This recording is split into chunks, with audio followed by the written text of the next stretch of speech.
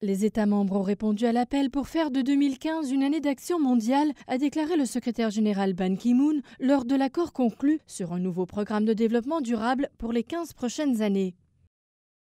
C'est vraiment un programme Nous les peuples. C'est une feuille de route pour mettre fin à la pauvreté mondiale et pour la construction d'une vie digne pour tous, ne laissant personne derrière. C'est également un appel haut et fort pour intensifier les efforts afin de guérir notre planète pour le bénéfice des générations présentes et futures.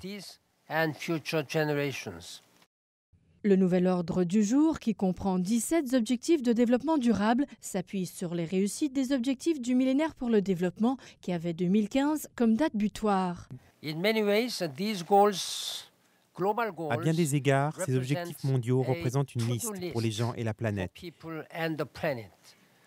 Ils sont centrés sur les populations et sensibles à la planète. Ils sont universels, applicables à tous les pays tout en reconnaissant les différentes réalités et capacités de chacun. Les dirigeants du monde adopteront officiellement ce nouvel agenda le mois prochain lors d'un sommet au siège de l'ONU à New York. Cette étape sera suivie par une grande conférence à Paris en décembre à laquelle ils espèrent adopter un accord sur le changement climatique. Selon un nouveau rapport des Nations Unies, les civils ont continué à payer le plus lourd tribut au conflit afghan dans la première moitié de 2015. La mission d'assistance des Nations Unies en Afghanistan et le bureau du haut-commissaire des droits de l'homme ont documenté près de 5000 victimes civiles de janvier à juin 2015, soit une augmentation de 1% par rapport à la même période en 2014. Le nombre total de victimes pour 2015 devrait égaler ou dépasser le niveau record de l'an dernier. Nous avons ici essentiellement affaire à un nombre inacceptable de victimes civiles, allant de la destruction des vies des civils à celle de leurs biens. Les engins explosifs improvisés, les attaques suicides et les assassinats ciblés sont responsables de 90% des morts civiles. De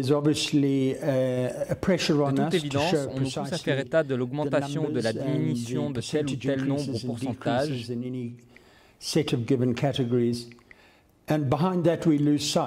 mais au-delà des statistiques, nous perdons de vue ce qui est réellement en jeu, les vies des hommes, femmes et enfants tués et mutilés, uh, uh, portant en eux des blessures à vie dont les conséquences doivent être assumées par les familles et leurs communautés. Le rapport appelle toutes les parties au conflit à protéger les civils, comme le prescrit le droit international humanitaire. L'Office de secours et de travaux de l'ONU pour les réfugiés de Palestine dans le Proche-Orient, l'UNRWA, fait face à sa plus grave crise financière jamais enregistrée. À moins d'obtenir 100 millions de dollars d'ici la mi-août, quelques 700 écoles pourraient être contraintes de suspendre leur activité, ce qui retarderait l'année scolaire pour un demi-million d'étudiants à travers le Moyen-Orient. Le secrétaire général exprime sa profonde préoccupation face à la situation financière dans laquelle l'agence fait face et les conséquences politiques et sécuritaires qui se produiront si un financement adéquat et durable pour 2015 et au-delà n'est pas rendu immédiatement disponible. Le secrétaire général a exhorté les donateurs à agir de toute urgence pour mettre l'UNRWA sur une base financière solide. Le secrétaire général a parlé personnellement à plusieurs dirigeants mondiaux au cours des dernières semaines sur ce sujet il appelle tous les donateurs à assurer de toute urgence que les 100 millions de dollars nécessaires soient apportés à l'UNRWA le plus tôt possible afin que les enfants de Palestine puissent commencer leur année scolaire 2015-2016 sans délai.